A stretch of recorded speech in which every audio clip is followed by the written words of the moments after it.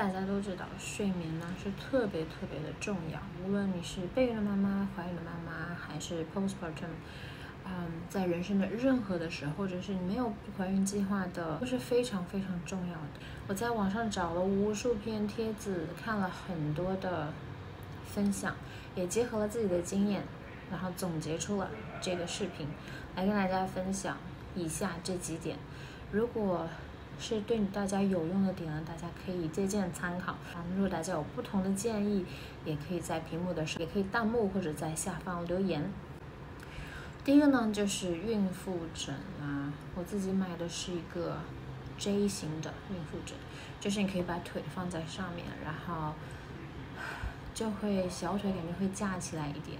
孕妇枕有很多不同的种类，比如说月亮枕啊、U 型枕啊，还有刚刚我提到的 J 型枕。孕妈们可以按照自己的睡眠习惯来进行选择。我个人因为有一点 haber 就是会反一点卫生，然后小腿有点紧张，所以我喜欢架高腿，然后还要把上半身也架高一点。嗯，因为医生建议是侧着睡，最好是左侧位睡，但是我其实个人我觉得右侧位会更舒服。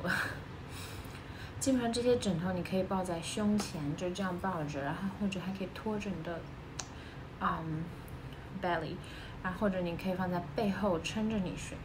我个人觉得放在背后撑着睡是比较舒服，因为它就支撑你的整个脊椎。各位孕妈可以按照自己的需求来进行选择，选择这个孕妇枕，然后按照自己的舒适度来调整孕妇枕的位置。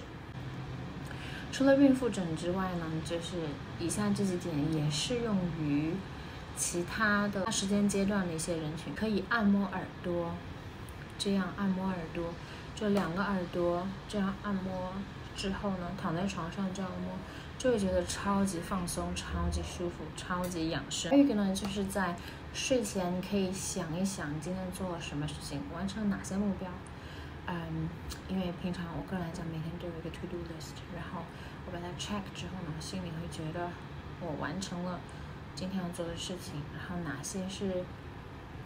就是有建设性意义的事情，哪些事情是比较 trivial？啊，就是来，你可以就是选择 letting it go。还有一个就是感恩冥想几分钟，我在之前的视频也提到，就是感恩的力量，冥想的力量。所以呢，就感恩冥想几分钟，会把你的身体 put into ease，就是把你的身体更放松。在起床之后呢，可以去阳台伸个懒腰。看看鸟，看看天，感受一下阳光，这样有助于自然的节律。这样的话，你就早上起床啊，就起床了，然后晚上睡觉你就啊睡觉了，就是日出而落，日作而息的这样一个节律。最后一个呢，就是三个 pillow 的一个方法，就是一个 pillow 在头的后面，还有一个 pillow 夹在两腿中间膝盖的位置，还有一个 pillow 呢是在啊放在后背。这样的话呢，在各个角度，这样呢，你的脊椎就会处在最自然、最舒适的位置。然后，个人喜欢把头稍微垫的高一点，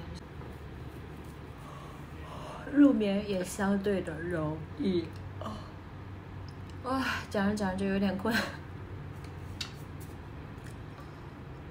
最近呢，就是十二月的中旬，我呢。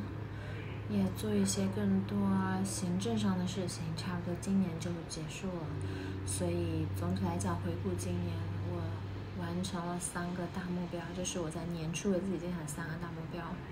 在二零二四年呢，我现在正在啊组织组织去写下二零二四，我还在组织去写下二零二四年的计划，正是在这个月。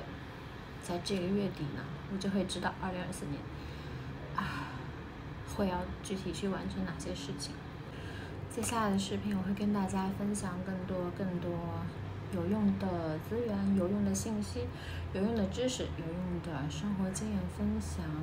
我是你的健康美丽的线上朋友，我们下期见喽，拜拜。